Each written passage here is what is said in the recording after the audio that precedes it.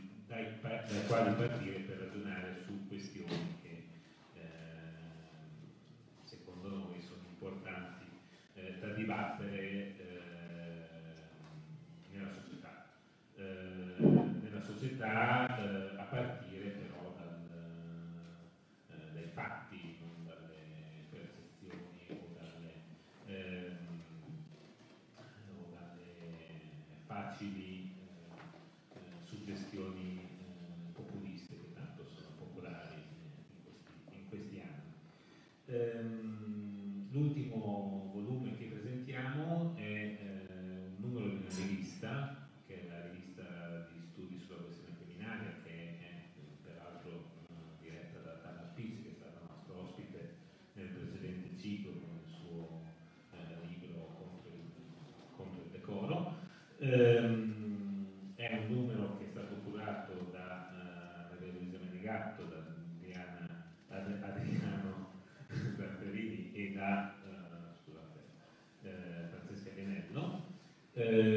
che raccoglie una serie di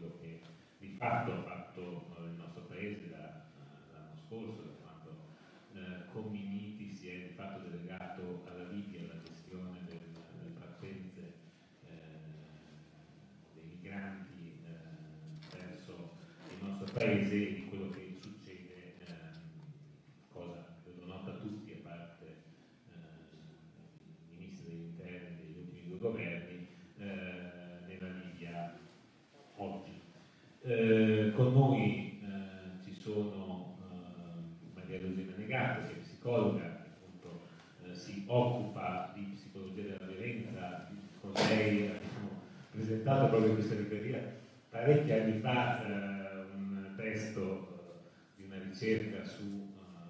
eh, violenze a Genova. Ehm, c'è Enrico Zucca che è pubblico ministero, è stato pubblico ministero, adesso è procuratore generale aggiunto, credo, o vicario, sostituto, sostituto a Genova, ma soprattutto a proposito di Genova è stato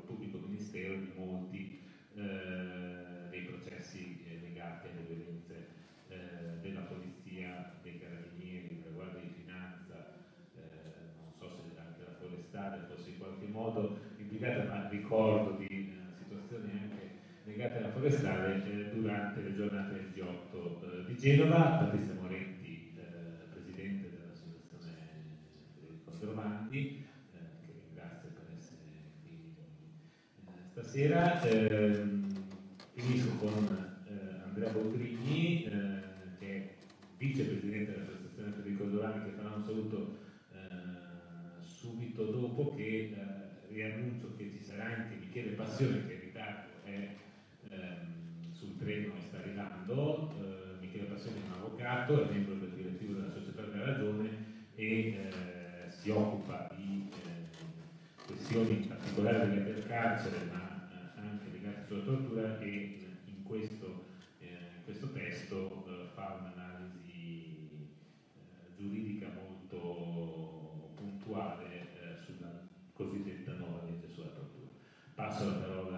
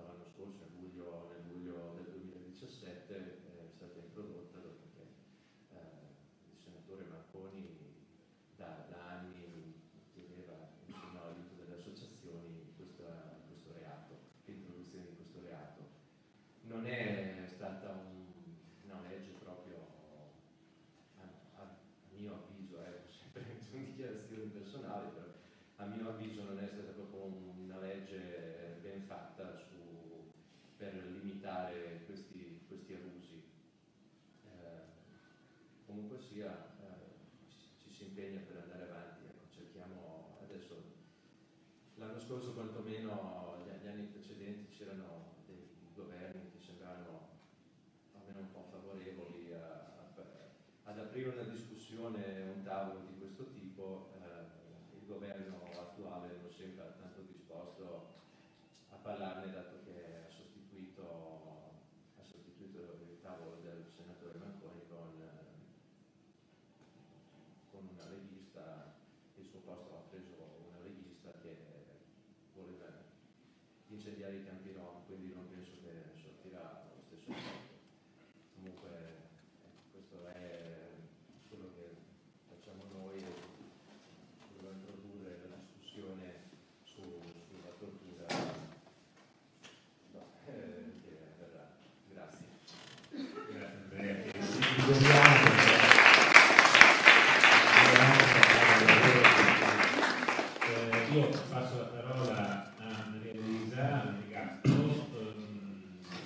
che eh,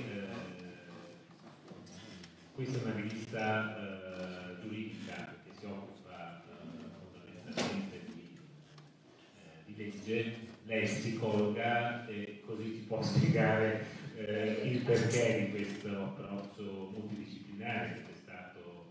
questo allora, buonasera e vi ringrazio veramente tutti di essere qui in questa serata. voi tutti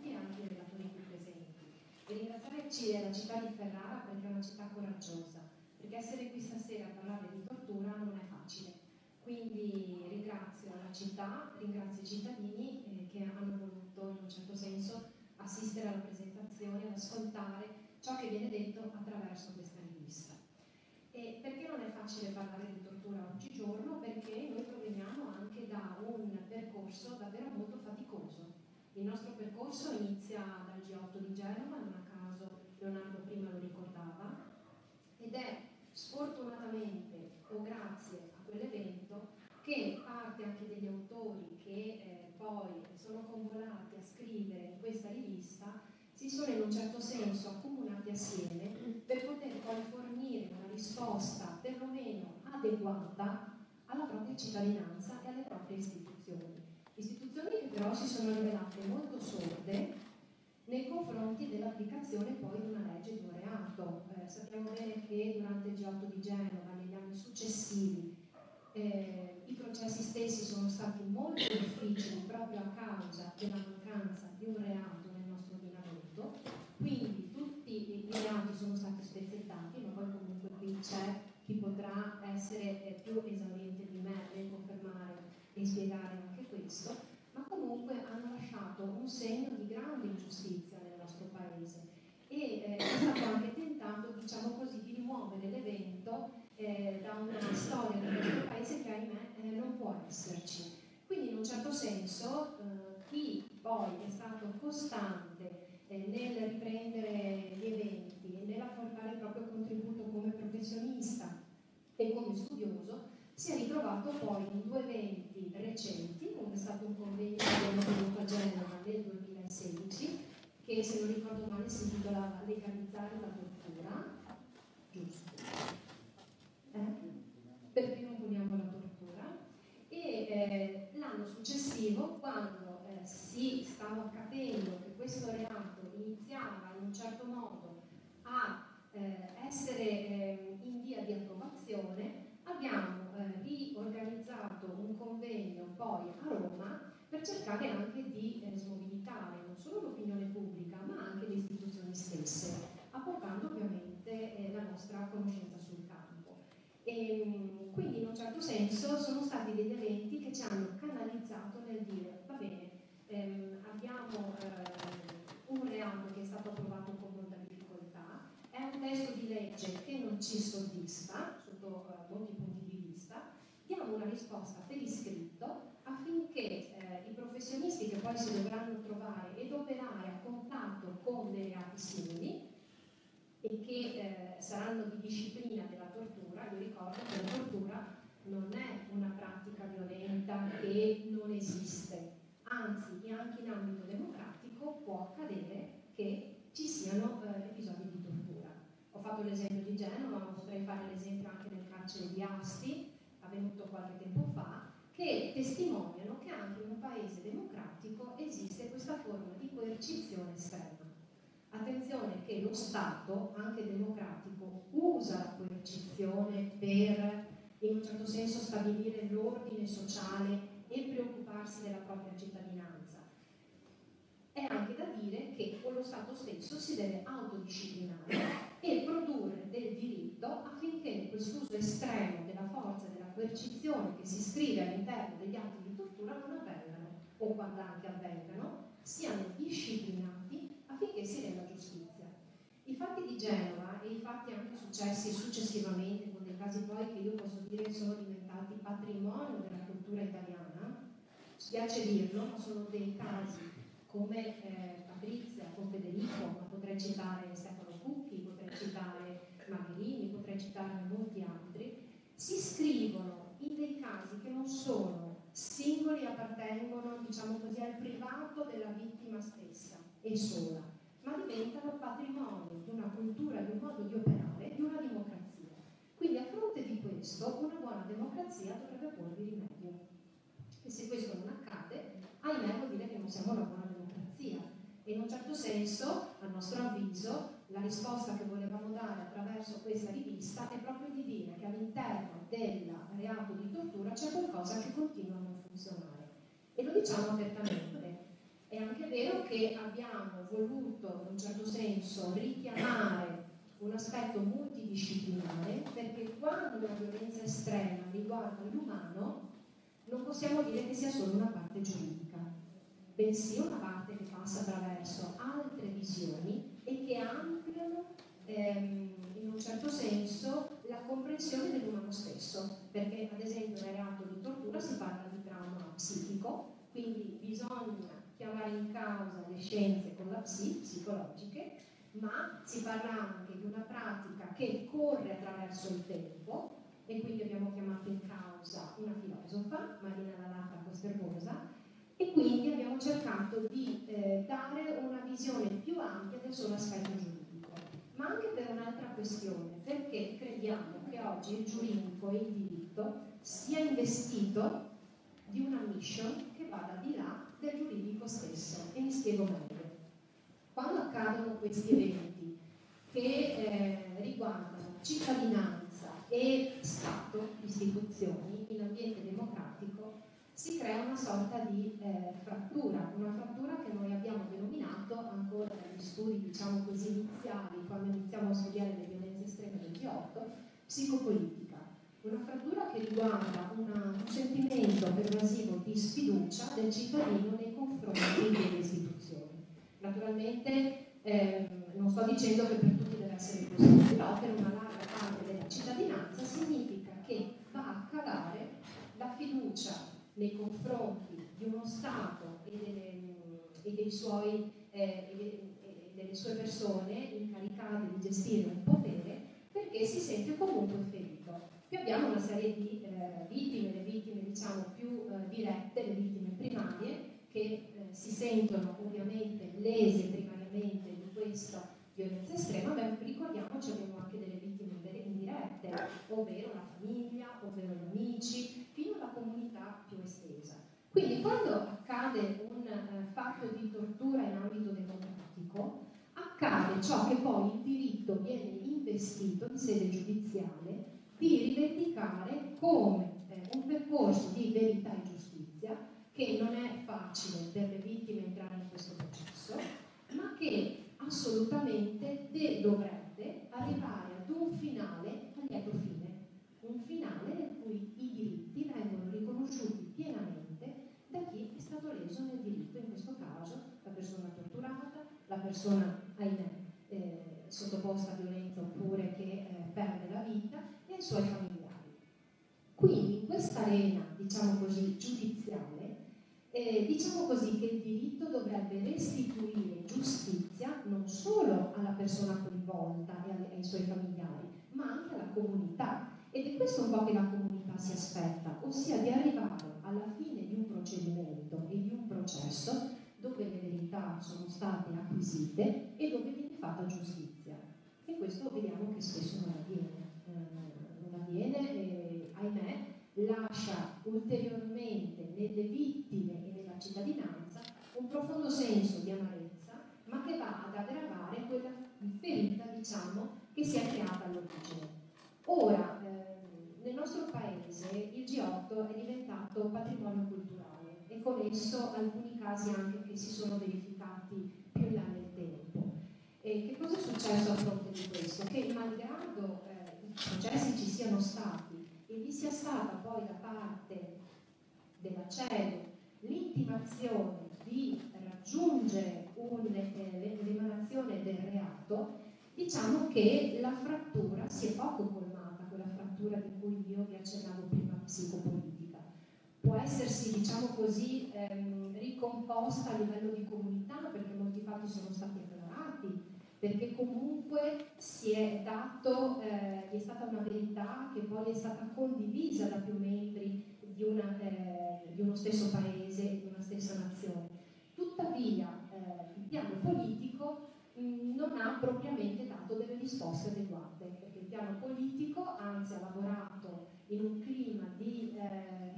rimozione di quanto Stato, in un clima di silenzio, ha dato delle promozioni, non ha contribuito a creare una giustizia per tutti e non ha nemmeno, diciamo, nemmeno stata dalla parte delle vittime per sostenerle in un certo percorso che ricordo dura anni ed è molto faticoso sostenerlo da questo punto di vista, proprio da un, a, un livello psicologico.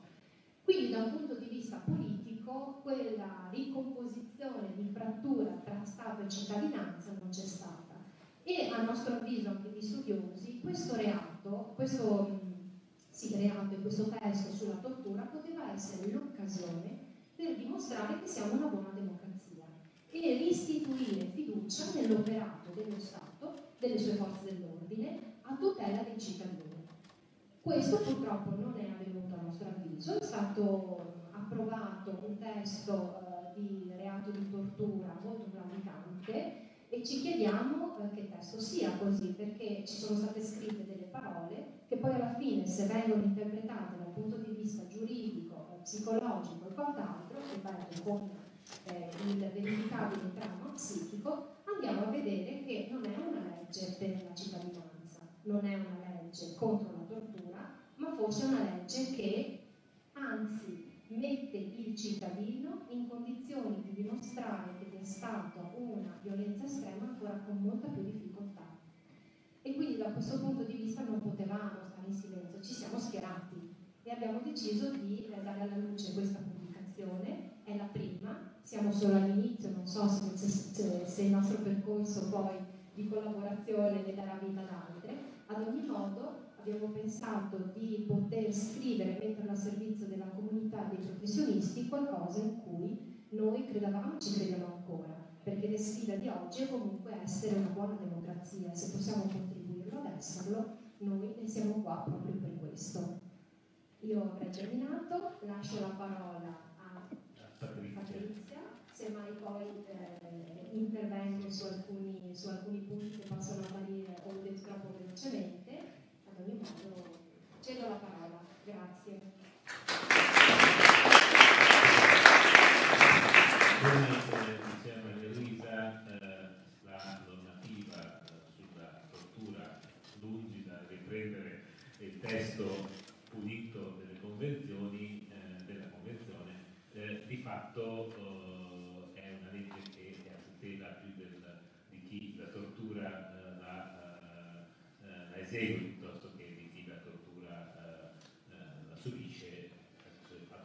provare il trauma fisico, il trauma psichico ehm, rilevabile eh, rende l'idea di come, eh, di come sia stata impostata la legge. E questo capovolgere eh, l'onere della prova e la colpa da eh, chi eh, fa violenza a chi subisce la violenza è un, diciamo, un leitmotiv, un, elemento di comunanza di direi tutti casi di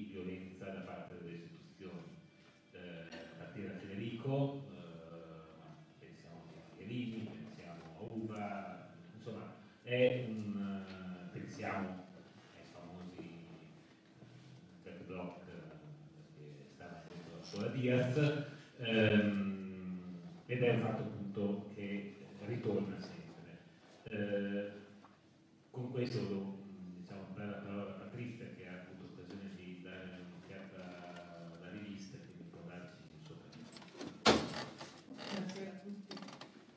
Eh,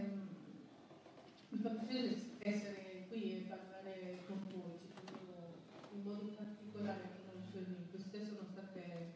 questo periodo è stato particolarmente intenso anche dopo la giornata di ieri,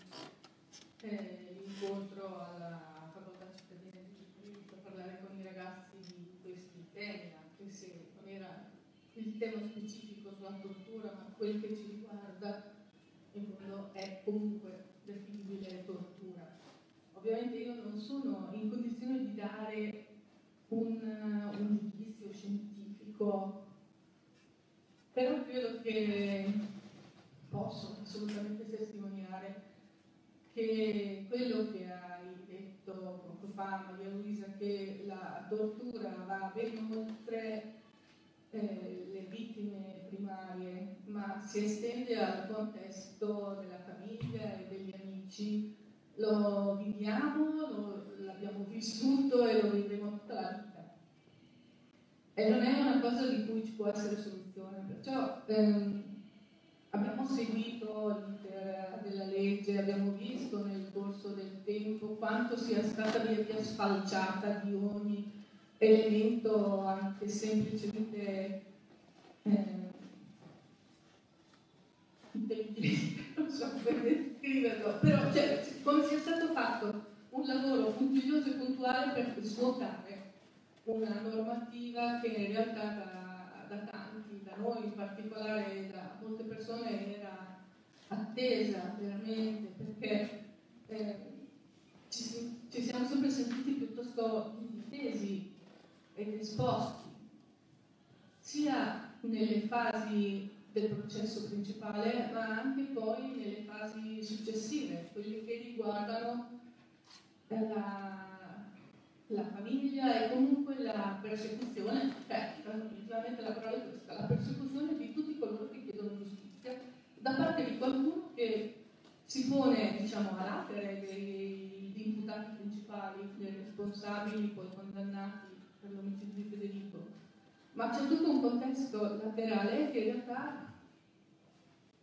ci ha perseguitati e molto spesso continua a farlo l'unica soluzione per noi è sottrarci al confronto diretto che invece avremmo forse voluto continuare nell'ansia di costruire qualcosa di migliore di quello che abbiamo incontrato,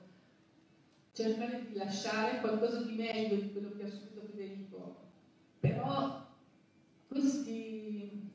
attacchi trasversali in realtà non, non, non sono confutabili perché comunque non hanno argomenti sostanziali, non puoi ribattere con la logica, non, puoi, non gliene importa nulla al TOIS che è venuto a manifestare sotto il mio ufficio del fatto che le sentenze fossero state chiare, descrittive, definitive, continuano a dire che Federico è morto perché era drogato, le sentenze e le analisi hanno detto che non era vero, ma loro continuano a ripeterlo e, e non c'è soluzione, con questa gente non ci può essere dialogo. Quindi io ho smesso. La realtà però è purtroppo che eh,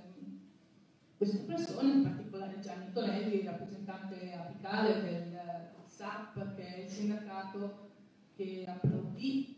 eh, in occasione del processo della,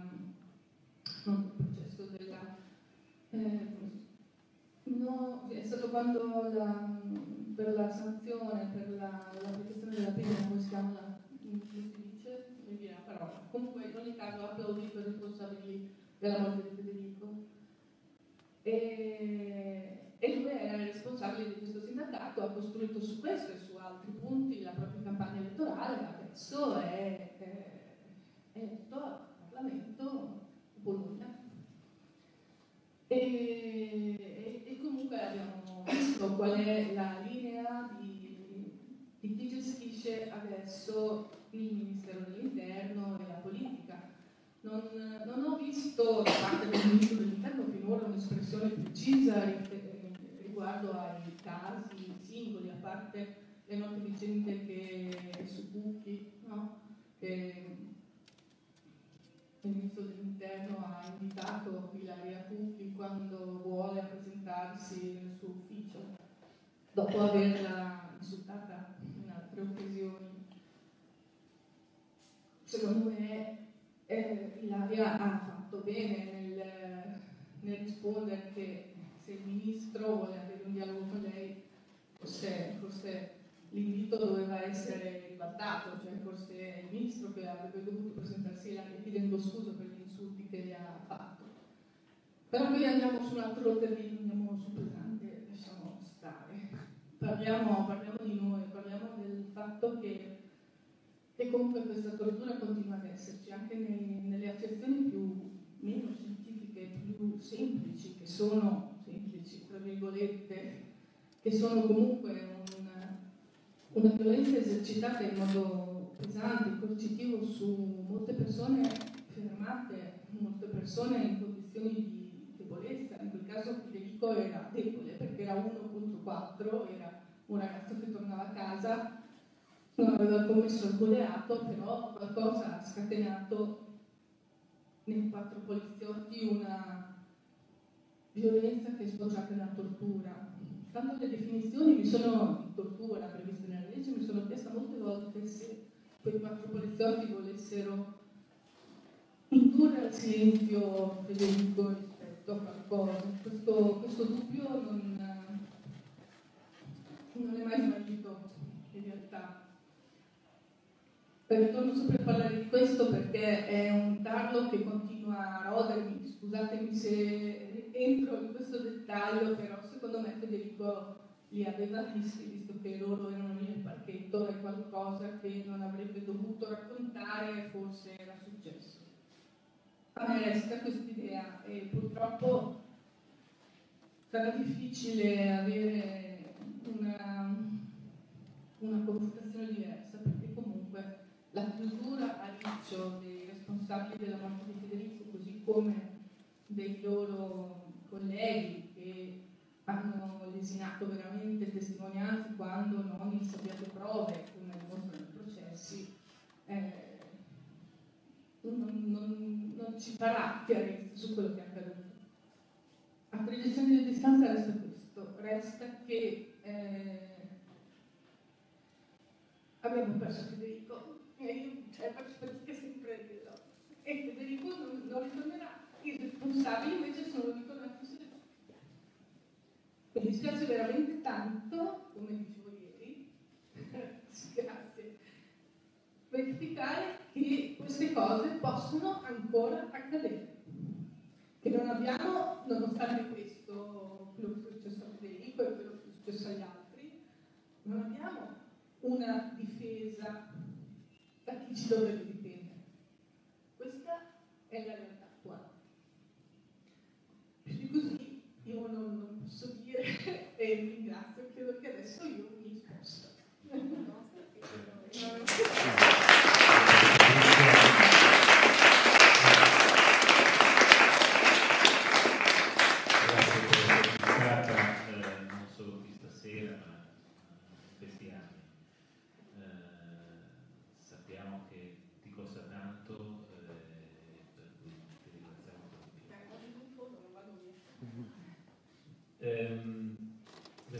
Adesso pensavo di passare la parola a Michele Passione che mh, sulla, nella rivista, appunto, come dicevo prima, eh, esamina eh, parola per parola il testo della nuova legge. Eh, tornando a quello che diceva prima, rispetto, dicevo prima rispetto eh, al tentativo di, eh, di fatto ribaltare ruoli tra vittima e, eh, eh, e colpevole, eh, c'è anche quello di eh, non prevedere eh, che un singolo atto di, atto di, violenza sia configurabile come tortura, ma di prevedere il fatto che debbano essere reiterati. e cito per confutare questo, questo argomento il professor Pugiotto, lo faccio anche per ringraziarlo perché è lui l'artefice di questo, di questo incontro di stasera, purtroppo era impegnato in un ricordo eh, dove, anche lui, per cui eh, non è potuto essere qui con noi. Eh, Michele Passione, eh, insieme a Stefania Amato, eh, cita eh, nel suo, nel suo saggio un passaggio di Andrea, che vi volevo leggere, che appunto confuta questa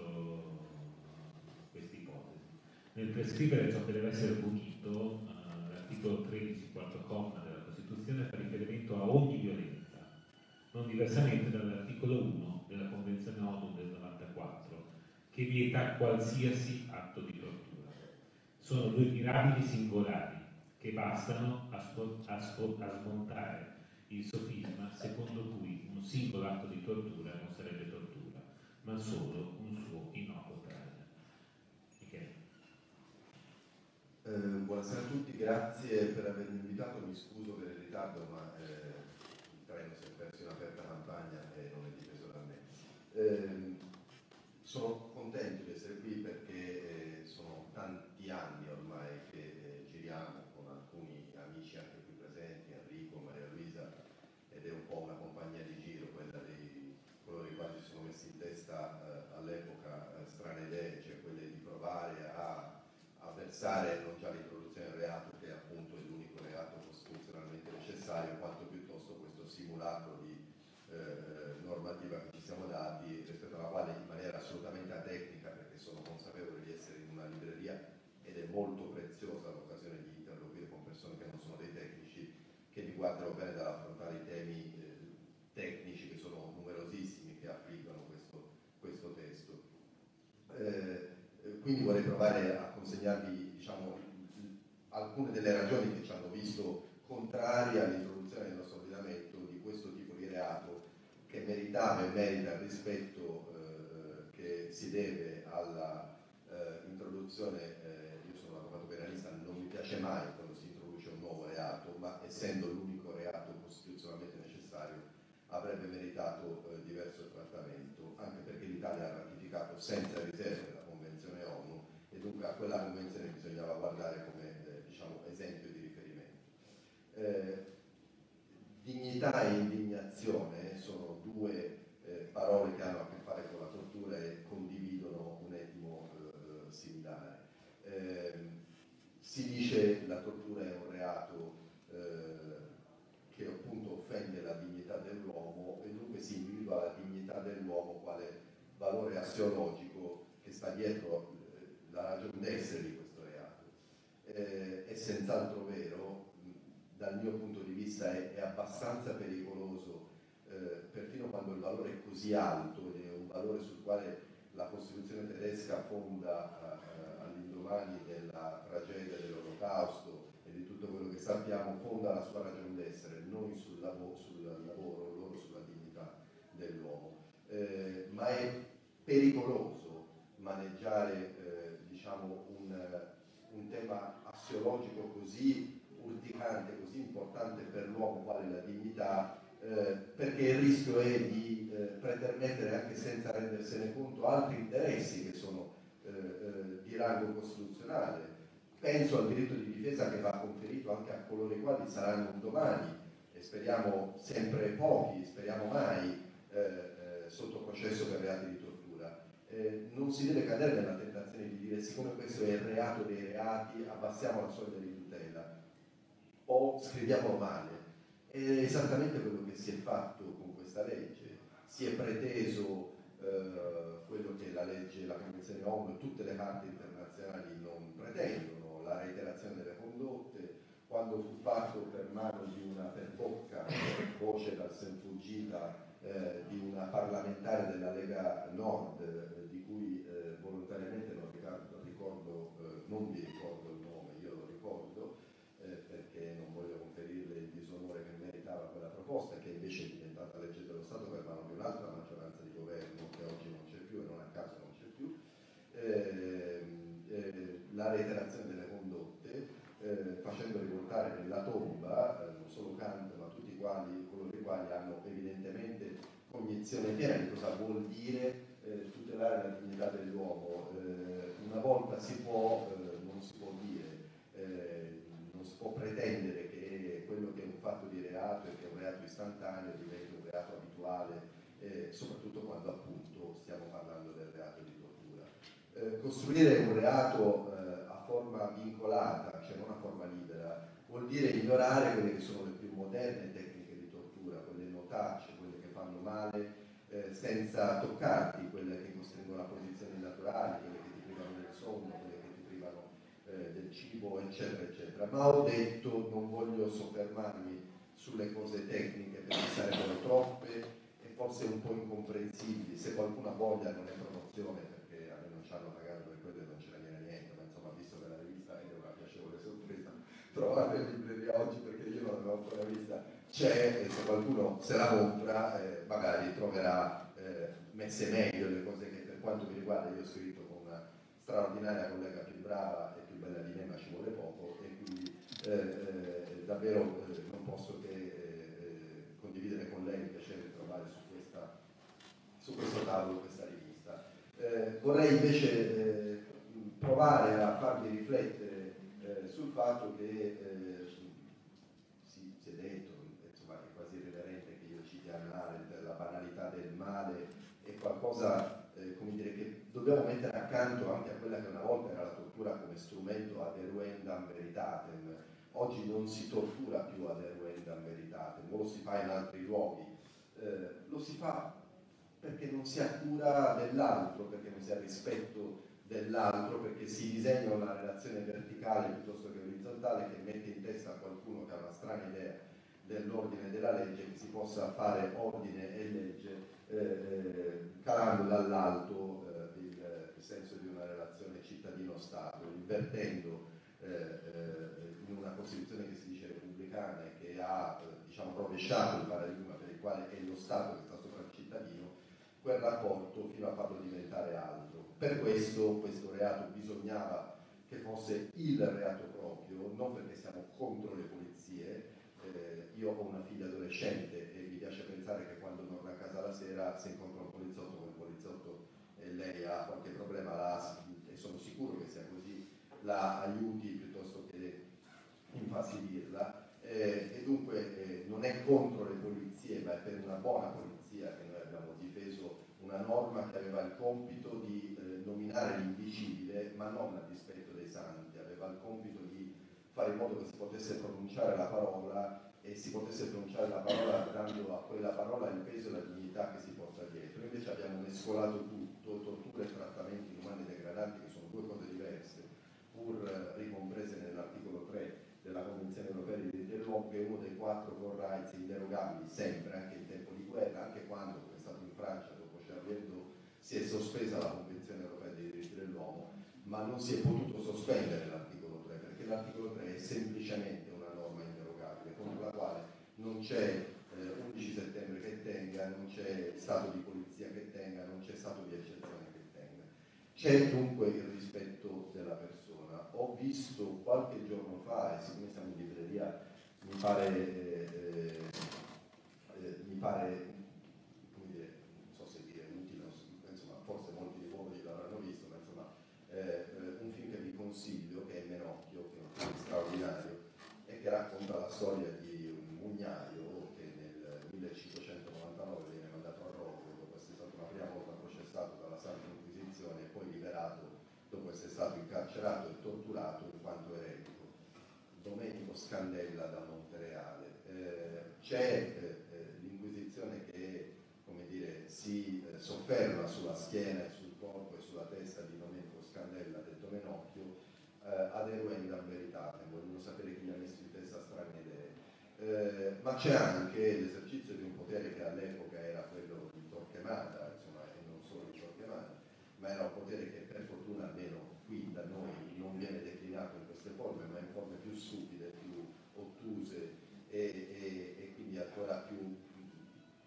protervia che è ancora più difficilmente comprensibile. Eh, dicevo, quell'accanimento è un accanimento che a un certo punto smette di essere, perché anche loro, anche gli stolti inquisitori dell'epoca, eh, capiscono che eh, eh Menocchio è un uomo libero e un po' folle e nessuno gli ha filato nella testa grossa che aveva quelle strane idee che loro non capivano. E quindi c'è semplicemente l'accanismo sulla, eh, sullo spirito libero che a qualcuno, che qualcuno propone con comportamenti bizzarri, anche con comportamenti ortodossi, ma quando eh, una persona, e andiamo da un'altra parte, ma è sempre tortura, di tortura stiamo parlando, viene legata a un letto e lì lasciata per 11 giorni,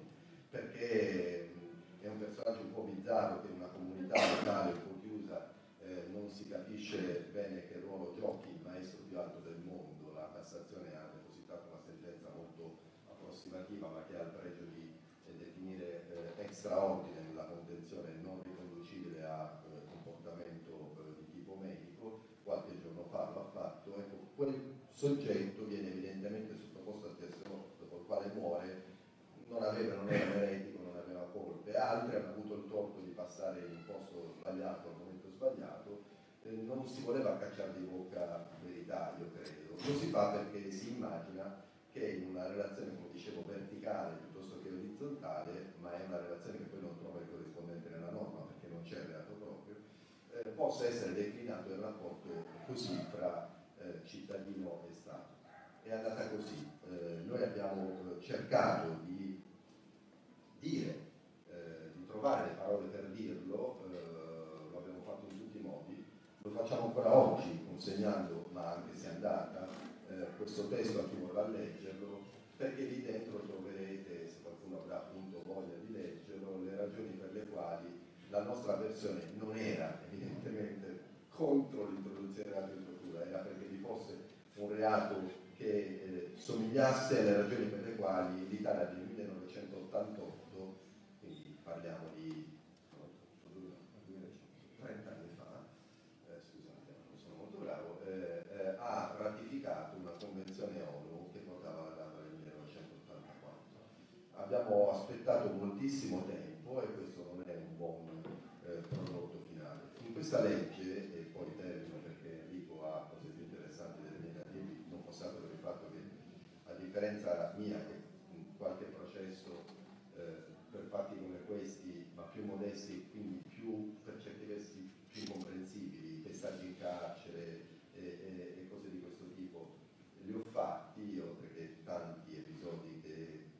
forse non starebbero dentro il reato di tortura, ma starebbero dentro fattispecie, eh, sì, insomma, che, che, i fratelli minori, diciamo così. Enrico, come saprete, si è occupato invece eh, diciamo, della più grave sospensione della democrazia dopo la seconda guerra mondiale, come ha definito Amnesty International.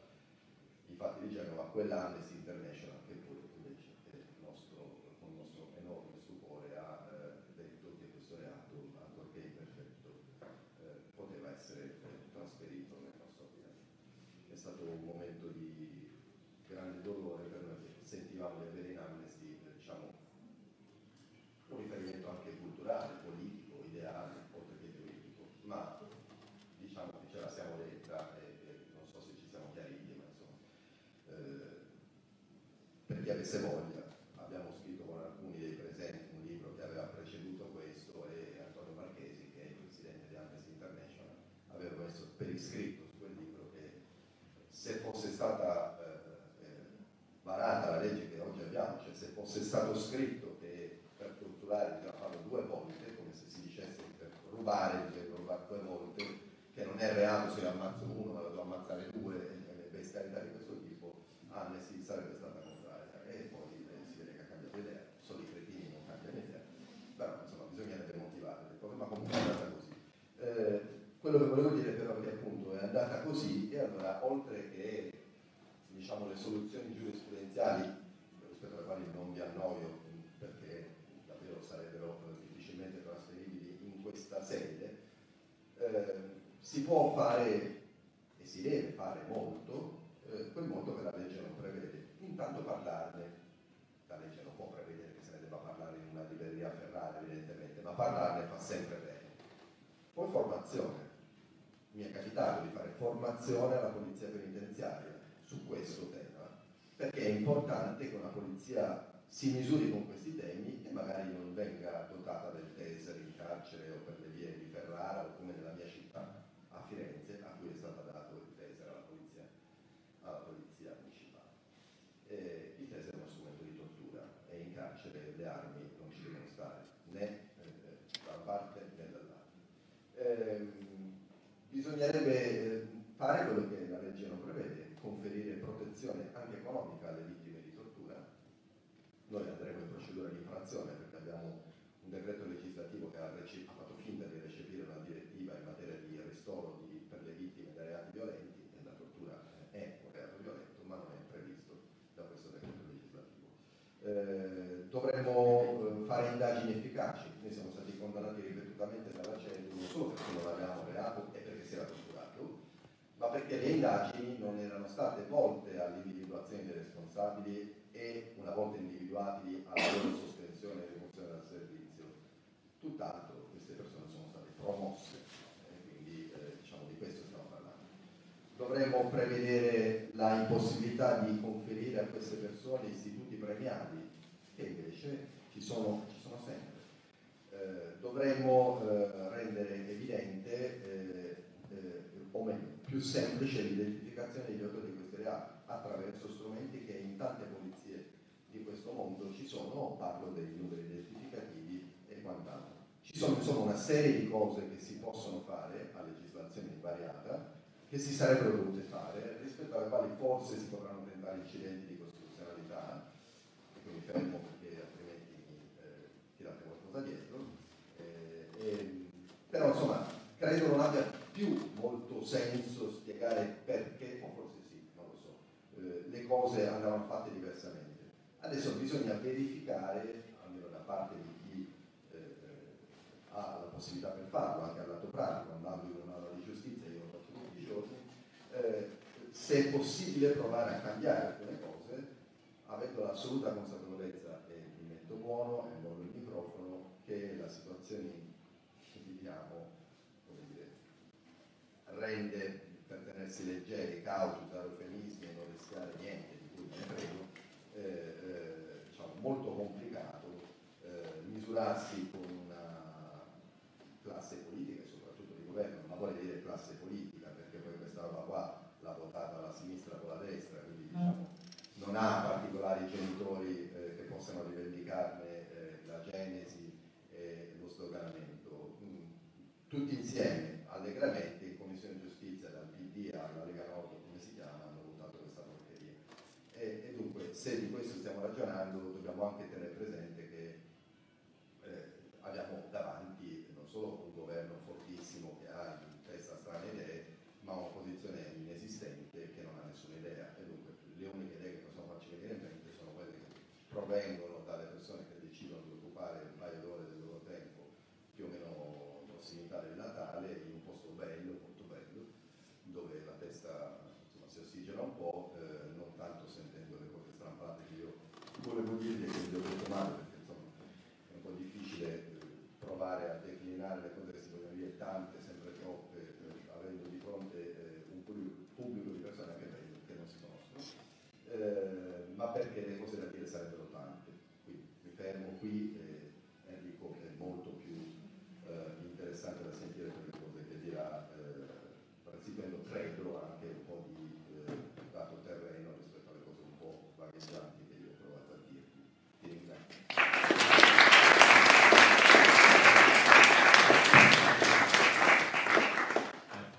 Enrico Duca è stato il magistrato del pubblico ministero che ha istruito il processo su Diaz e Gonzaneto, eh, lo dice chi eh, per poco, per puro caso, insieme a qualcun altro in questa sala, eh, non ha dormito quella notte eh, alla scuola Diaz ehm, e ha dovuto fare i conti con l'assenza eh, nel nostro codice penale di quel reato, pur, eh, come ricorda eh, nel suo scritto eh, e nella requisitoria, eh, rinvenendo la fattispecie eh, della tortura. Eh,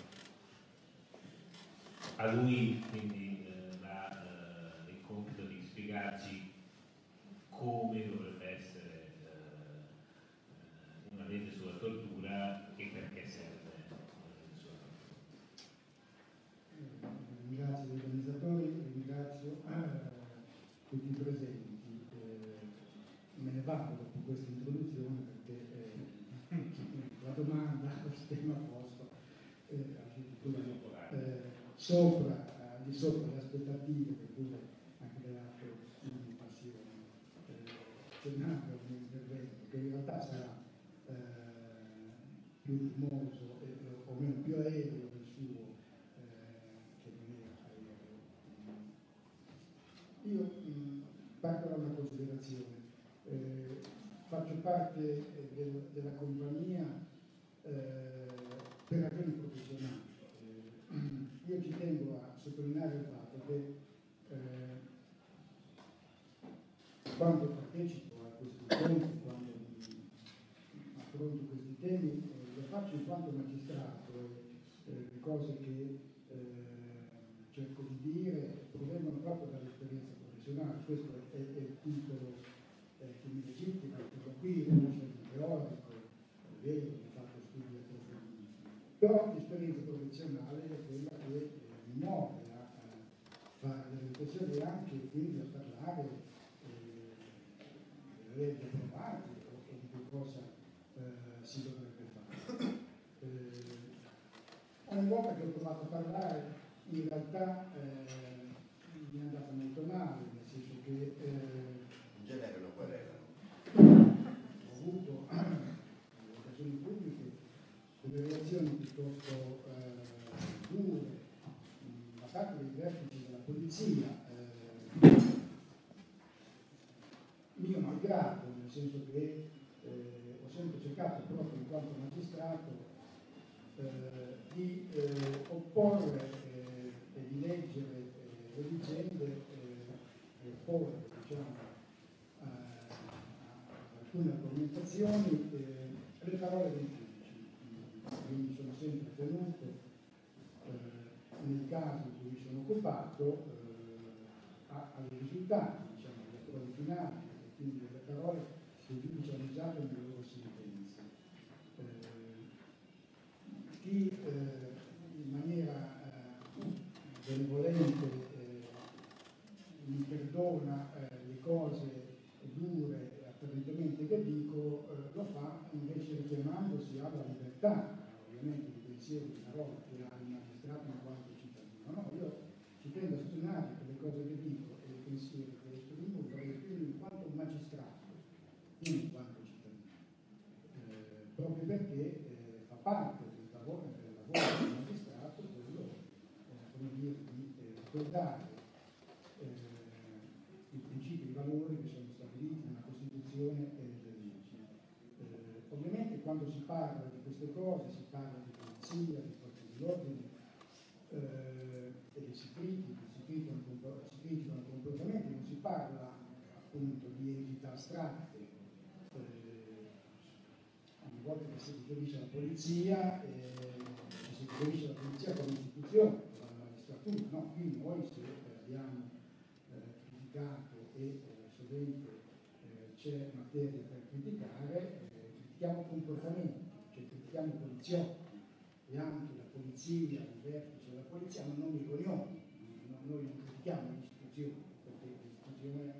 eh, è ovviamente fondamentale, il compito che svolge la polizia e le forze dell'ordine è un compito fondamentale, essenziale, eh, soprattutto in una società democratica. Io penso di fare questo come magistrato, però è anche vero, non me lo nascondo, e qui eh, sta eh, il problema, che qualcuno avrebbe qualcosa da ridire, eh, perché eh, questa sera ero seduto vicino ad una vittima, eh, cioè alla madre di Fabrizio Antovani, Fabrizio Antovani. Nessuno avrebbe qualcosa da dire se un magistrato si sedesse accanto alla vittima di reati di mafia, usura, estorsione anzi i magistrati sono degli accetti quando parlano di questi temi, però credo che qualcuno potrebbe storcere il naso, perché questa sera eh, io ho partecipato a un dibattito in cui ci sono vittime particolari e, e questo è eh, già il segnale eh, un problema. È nasconderlo, eh, diciamo per presentare un lavoro collettivo eh, che si è espresso un numero di questa rivista. Inutile negarlo, eh, ciò che accomuna gli interventi eh, in questa rivista è la forte critica all'approccio legislativo, che pure si è avuto nella scorsa legislatura. e questa posizione che ci accomuna contrasta con le posizioni che eh, pure si sono avute eh, anche da parte eh, sul piano tecnico dei principali commentatori della legge. noi ci contrapporremmo ad un atteggiamento che viene definito mh, realistico, pragmatico, e quindi in qualche modo la nostra posizione sarebbe una posizione di estremismo sterile, insomma, in fondo uno strumento eh, ci è dato. Eh, è vero che nel dibattito parlamentare eh, e accanto al dibattito parlamentare anche i gruppi di pressione e associazioni il cui scopo è appunto la promozione e la tutela dei diritti umani hanno adottato questo approccio appunto definito eh, pragmatico. Quindi meglio, meglio, che niente, inutile andare a, a cercare di ottenere l'ottimo eh, se in qualche modo eh, la, la, il risultato sarebbe stato comunque quello di non approvare non avere questa posizione diciamo, di realismo pragmatico traeva eh, sostegno dalla eh, tormentata storia legge, cioè un adempimento di oltre 30 anni nell'implementazione, eh, la realizzazione della eh, prima convenzione sulla cultura. E eh, inutile nasconderlo, forse eh, questo argomento trova eh, un ulteriore sostegno eh, pensando alla storia qua. Quindi eh, si diceva eh, quella sarebbe stata l'ultima occasione per poter arrivare all'approvazione di una legge con quella maggioranza parlamentare, con, eh, con una storia di inadempimenti e se si fosse persa questa occasione di legge sulla tortura si sarebbe parlata forse ancora all'infinito. Eh, possiamo ritenere a questo punto che eh, avevano ragione quelle posizioni, quindi anche il nostro insistere, eh, anche con questo contributo, è un insistere appunto eh, sterile. Noi ci stiamo cullando un po' in un narcisismo intellettuale, vogliamo fare i figli dicitori? Eh, credo di no, eh, perché eh, l'occasione che era eh, alla portata di mano o che doveva essere colta in quel periodo, in quel momento, eh, si è persa. Perché la nostra codificazione, eh, la nostra legislazione sul reato di tortura si colloca in un contesto eh, istituzionale molto particolare eh, e si colloca innanzitutto in un contesto internazionale in cui i diritti fondamentali, in particolare i diritti fondamentali a essere sottoposti a tortura, è stato relativizzato. Trovino delle chiare lettere, parole delle convenzioni. Eh, noi sappiamo che eh, dopo l'11 settembre del 2001, una cinquantina di giorni dopo i fatti del G8, eh, la Stato delle Torri Gemelle ha gettato la, quella che noi riteniamo, tenevamo essere la, la, più grande democrazia occidentale, eh, ha gettato questo evento eh, in una situazione di incertezza e di paura eh, che l'ha condotta eh, a rinnegare apertamente eh, i principi eh, su cui eh, si fonda anche i valori su cui si fonda, su cui si fonda la Costituzione di quella nazione stessa. Sto parlando degli Stati Uniti, è inutile ricordare quegli eventi percorso buio che gli Stati Uniti hanno percorso di sostanziale eh, legittimazione della cultura. Eh, questo percorso è eh, emerso ben presto e trova traccia anche nelle relazioni ai testi di legge del nostro Parlamento, che menzionano le torture o i maltrattamenti di Abu Ghraib, riconosce questo, eh, riconoscono questo fenomeno. Ovviamente eh, senza riconoscere quel fenomeno, quei fenomeni eh, sono anche eh, parte della storia italiana, abbiamo anche noi degli esempi, ed è, ricordo sempre, molto significativo che eh, esplicitamente i disegni di legge che intervengono dopo le sentenze definitive sui fatti del G8 non menzionano questi episodi come esempi di tortura e maltrattamento, nonostante le parole dei giudici fossero state già chiare eh, in quel momento. Quindi se eh, ci muoviamo in questo contesto, che è descritto in eh, alcuni anche nel eh, mio eh, intervento in questa, in questa rivista, in cui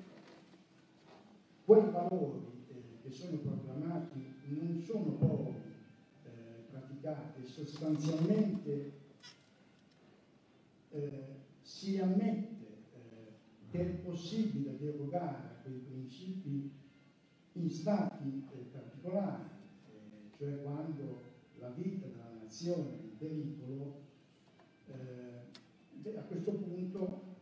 l'ultima delle codificazioni, cioè la nostra, avrebbe dovuto cogliere l'occasione per ribadire invece la fermezza eh, nella, eh, in, in, quei principi, la fermezza della tutela di quei principi. Così non è stato, perché eh, la nostra legislazione ha ceduto a quella relativizzazione ormai eh, di quei diritti che invece eh, le Costituzioni, convenzioni eh, configurano come incomprimibili, quindi assoluti, eh, ha ceduto diciamo, a questa eh, relativizzazione e molto esplicitamente ha bilanciato le esigenze della sicurezza e della difesa con la necessità di introdurre il reato di tortura. Quindi implicitamente eh, configurando eh, la razza dell'incriminazione della tortura come poggiante in fondo su un diritto che così incomprimibile eh, non appare. Ecco che al di là diciamo, del dato tecnico e della deviazione consapevole che il nostro legislatore fa eh, rispetto alla definizione di tortura che la Convenzione impone, impone, intendiamoci, come minimo Impone eh, la incriminazione della tortura che eh, definisce in via generale, non eh, necessariamente con eh, un reato specifico ma il, eh, i trattati impongono un obiettivo, lo fa la Convenzione ONU, lo fa in particolare ancora di più la Convenzione europea dell'uomo all'articolo 3, impongono l'obiettivo che è quello di reprimere, sanzionare duramente i fatti di tortura e di maltrattamenti. Ovvio che introducendo un reato specifico con pene adeguate eh, si assolve meglio a questo compito e l'obiettivo si raggiunge più facilmente. Ebbene, eh, il nostro legislatore eh, prende consapevolmente una strada diversa. Innanzitutto restringe, qui i dettagli tecnici eh, possono tralasciarsi, ma è un fatto, ed è un fatto, si può dire, apertamente confessato che si adotta una nozione di tortura più restrittiva della Convenzione, di quella suggerita diciamo, dalla Convenzione. E l'adozione di una nozione più restrittiva, quindi una nozione che lascia scoperti certi fatti di tortura, è eh, attuata questa restrizione non per garantire una maggiore precisione e tassatività della norma penale, quindi non per esigenze di garanzia, perché è ovvio che la definizione ampia di tortura che c'è nella Convenzione eh, essere tradotta in una norma che abbia i caratteri della chiarezza, della precisione e della tassatività, quindi deve sapere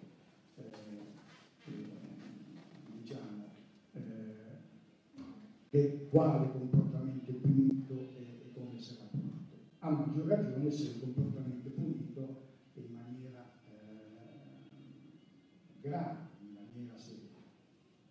Ebbene, eh, la nostra eh,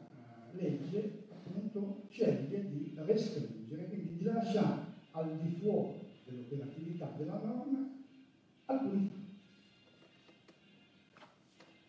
eh, non solo questo, ma eh, va, eh, intraprende una strada che ancora una volta eh, collide con l'intenzione eh, del, eh, delle convenzioni, cioè altro eh, atteggiamento apertamente confessato introduce il nostro legislatore reato di tortura non volendo, non volendo ritagliare un reato che eh, eh possa essere eh, inteso come specifico per gli abusi delle forze di polizia. Tutto il dibattito eh, eh, l'introduzione di un reato specifico cioè un reato del pubblico ufficiale. Nelle convenzioni la tortura è il reato del potere, il reato commesso abuso, commesso dal pubblico, la violenza ingiustificata commessa dal pubblico ufficiale. Qui si è voluto intraprendere la strada di configurare la tortura come un reato comune, cioè come un reato che può eh, commettere non nel senso di ampliare, soltanto nel senso di ampliare portata, per cui ammessa ovviamente dalla norma convenzionale, ma con il dichiarato intento di fare questo per non dare l'impressione o per non criminalizzare il comportamento esclusivo delle forze dell'ordine. Questo è un messaggio, è un messaggio. Non solo, eh, per come è configurato il reato, legislatore non utilizza quelle tecniche che di solito usa per eh, individuare eh, ed esaltare la gravità del reato, non soltanto eh, in termini di, eh, di pena, cioè eh, la cura della sanzione e la sua quantità, quindi un minimo e un massimo di pena, ma impedendo ad esempio l'operare del bilanciamento delle circostanze. E questo è eh, un aspetto che eh, si coglie e che è colto eh, dire, eh, da chi poi deve essere destinatario eh, della, della, norma sulla cultura. Cioè, se mettiamo a confronto il nuovo reato di verrebbe come è stato ricordato, eh, dovuto essere inteso, avrebbe dovuto essere inteso come il reato per eccellenza, uno dei reati più grandi, già il termine tortura implica uno stigma negativo, che è appunto la storia che porta eh, la natura, eh, che porta questo, di abiezione, che porta questo comportamento, ma non si può dire legislatore abbia trattato questo reato come un reato grave. Questo non sto confrontando i termini di pena, eh, ma eh, questo reato, eh, come si dice, non è un reato ostativo. Ci sono dei reati considerati ostativi, che possono eh, ammettere il condannato a eh, benefici eh, penitenziari, che impediscono il bilanciamento delle circostanze soprattutto ci sono dei reati che hanno termini di prescrizione molto lunghi. E se noi eh, confrontiamo eh, l'introduzione di questo reato con altri reati, eh, notiamo che il legislatore, per come ha configurato questo reato, non ha voluto eh, lanciare il messaggio che questo reato è un reato grave. Un paradosso eh, che eh, contrasta appunto con eh, razza della discriminazione. Ora, eh, questo messaggio che viene dato eh, è un messaggio poi che c'è il reato, un reato che bisogna usare con molta cautela eh, e soprattutto non è un reato che produce conseguenze irreversibili quello che richiedono le convenzioni, quello che richiede l'interpretazione, soprattutto della Corte europea, è che questo reato sia configurato, o comunque la produzione diciamo, dei fatti di tortura, comunque qualificati, eh, sia tale eh, da eh, fungere come deterrente per l'evitare il reiterare, eh, reiterarsi eh, dei comportamenti. Cioè deve essere chiaro che gli abusi eh, che costituiscono poi intimi, fatti di tortura, di maltrattamenti, costano per chi li commette. E cosa vuol dire costano? Che la pena, eh, una volta che uno è condannato, è, deve essere severa e soprattutto eh, chi è condannato eh, e appartiene alle forze dell'ordine è un pubblico funzionario, deve essere sospeso mentre eh, è rinviato, nel tempo in cui è rinviato giudizio, deve essere destituito eh, una volta sarebbe come dire, un po' lungo eh, richiamare i passaggi tecnici di questi obblighi collaterali che pongono le convenzioni, ma il richiamare da parte della, della mamma di Federico Altovandi eh, questa, come dire, questo senso di ingiustizia che deriva dal fatto eh, di vedere comunque sempre stesso corpo di polizia, eh, certi condannati per eh, reati di questo tipo, non è come dire una pretesa ed è eh, o la disperazione eh, dettata ovviamente dal dolore eh, che prova una vittima. E le reazioni opposte eh, non sono come dire reazioni che sono compatibili con mm, questa disperazione, un dolore non giustificato. Eh, questo è un tema fondamentale, perché eh, sono le convenzioni che impongono la destituzione eh, dei condannati, sono le convenzioni che impongono eh, la negazione anche dei benefici eh, penitenziari questa è tutta una parte, diciamo, eh, che non sorregge, eh, ovviamente, eh, che cosa si dice, cosa si è detto, diciamo. Voi ricorderete, non so se eh, la polemica c'è stata per eh, le mie dichiarazioni eh, quando ho ricordato che chi ha sofferto la tortura oggi è ai vertici della, della polizia o uffici apicali della Polizia di Stato. Eh, io ricordavo quello che è uno degli elementi che è costato la condanna dell'Italia eh, per il procedimento della Diaz,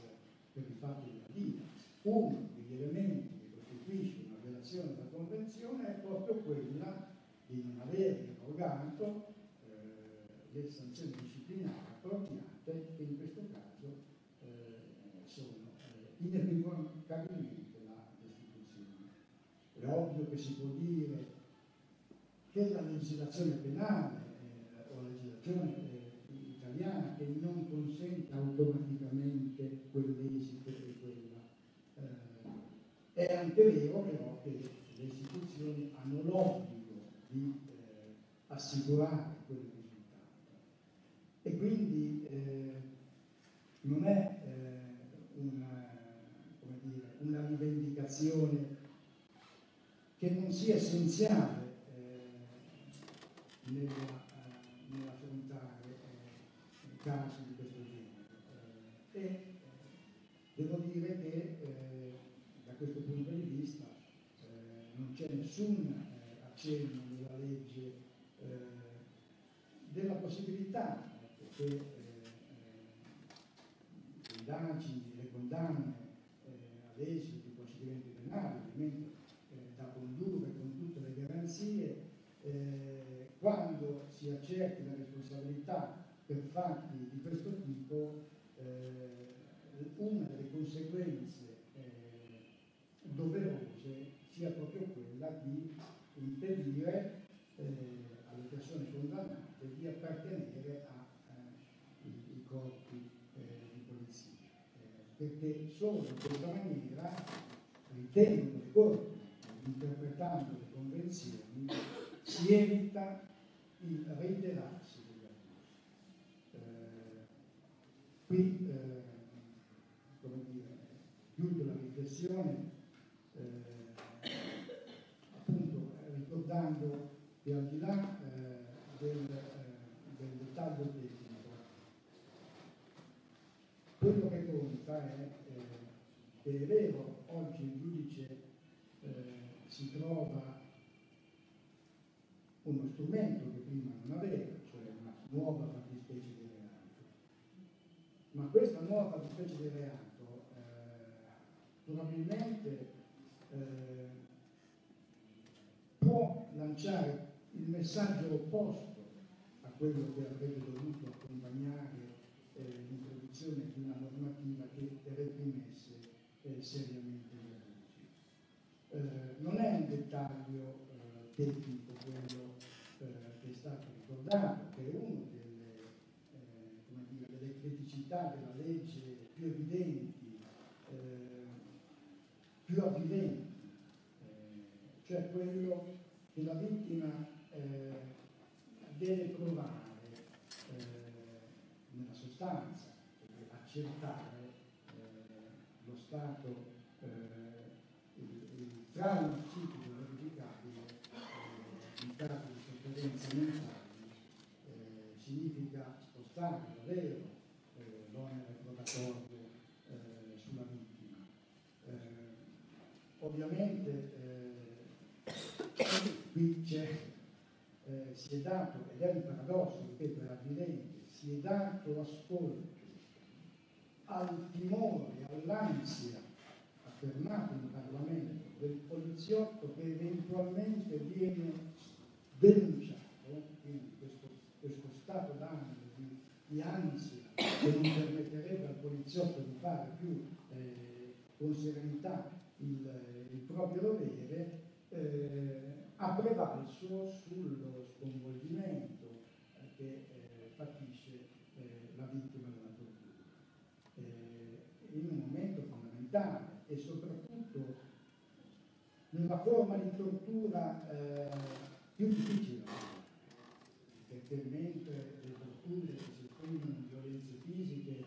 eh, spesso hanno dei segni evidenti, hanno le ferite,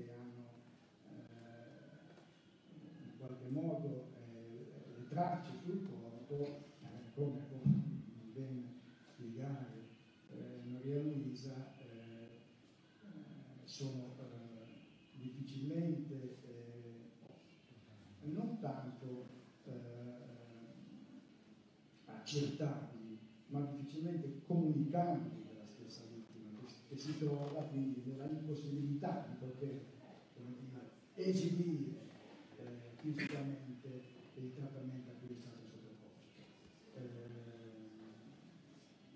so quale possa essere l'ambito eh, di operatività di questa norma.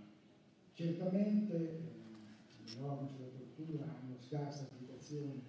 eh, anche nelle legislazioni che da tempo hanno queste fattispecie ovviamente, perché eh, i processi di questo tipo eh, non sono processi ordinari, ma è vero che di nuovo il messaggio che si il messaggio opposto, ecco l'occasione non cosa.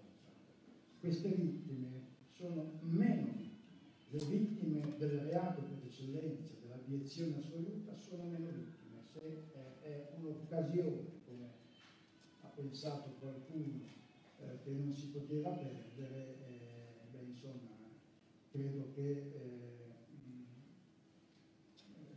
i danni che può fare diciamo, questa lettura nello sgretolamento appunto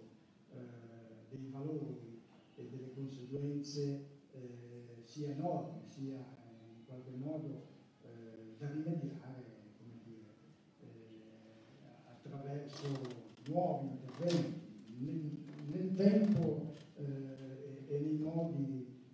che non possiamo immaginare, se non quelli generati da una eh, nostra nuova presa di coscienza. Possiamo anche non occuparci più di questo problema, possiamo anche pensare che l'aver intaccato i nostri valori mh, bah, sia una cosa eh, tutto sommato trascurabile, come pensa qualcuno di fronte alle esigenze della sicurezza. Possiamo anche accantonare eh, i discorsi di questo tipo. Il problema però rimane. Noi siamo coscienti che eh, questo problema rimane, nonostante tutto, nonostante le parole, eh, il fenomeno, eh, lo sappiamo, eh, esiste.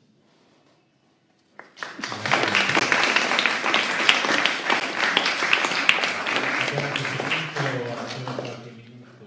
per eventuali domande per il pubblico. Quindi alzate la mano se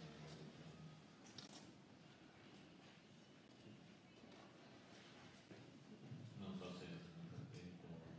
Allora, visto che per il momento non ci sono domande, eh, approfitto per dire due cose che a nostro avviso importanti. E il,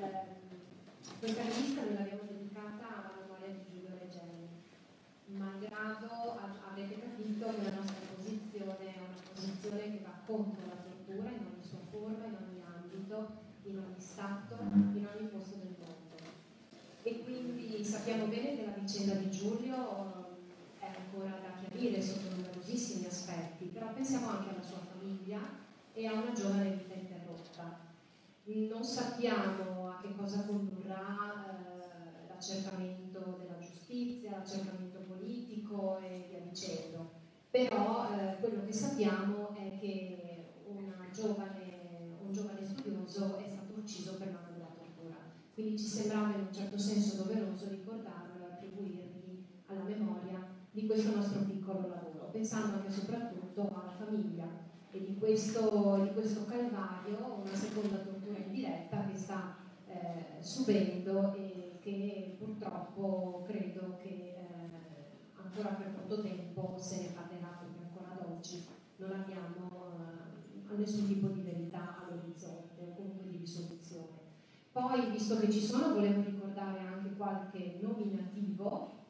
qualcuno già emerso, però ad esempio non abbiamo fatto il nome di Lorenzo Guadagnucci e di Enrica Bartesaghi che hanno scritto un, un articolo in questa, in questa rivista. Lorenzo Guadagnucci è scrittore e giornalista, co- componente del Comitato Verità e Giustizia eh, per Genova e la presidente invece Enrica Bartesaghi. Poi abbiamo Riccardo De Vito, che è magistrato di sorveglianza presso il, Tribunale di sorveglianza di Sassari e è attualmente presidente di Magistratura Democratica. Stefania Amato invece, che ha scritto il pezzo con Michele, è avvocato patrocinante in Cassazione e componente del Consiglio direttivo della Camera Penale della Lombardia Orientale. Poi c'è eh, Adriano Zamperini, che invece è professore di psicologia della violenza presso l'Università degli Studi di Padova e assieme noi abbiamo appunto studiato tutte le vicende a partire dal G8 e, e successivamente sempre assieme. E poi c'è Roberto Settembre, che è magistrato che poi eh, si prese in carico i processi di Gozzamento, se, se ricordo bene, e che invece fa una disa- eh, disamina sulla tortura appunto eh, dell'immigrazione, quindi eh,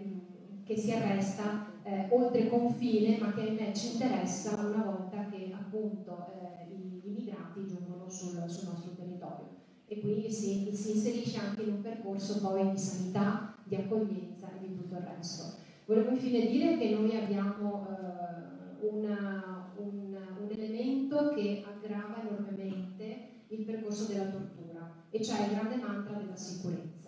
Nel senso che oggi questo grande mantra a cui stiamo tutti assistendo, la sicurezza, sicurezza del terrorismo, può legittimare in un certo senso il ricorso ad alcuna violenza estrema. Quindi ecco, di fare molta attenzione in questo percorso perché quando si organizza un certo tipo di retorica basata sulla paura, basata sul distanziamento dall'altro, è chiaro che una certa organizzazione sociale, una certa organizzazione tra cittadini e Stato, ahimè, pecca anche di emozioni che non sono positive, ma regna la paura, la sfiducia, il distanziamento, la paura dell'altro e quindi sono dei percorsi veramente molto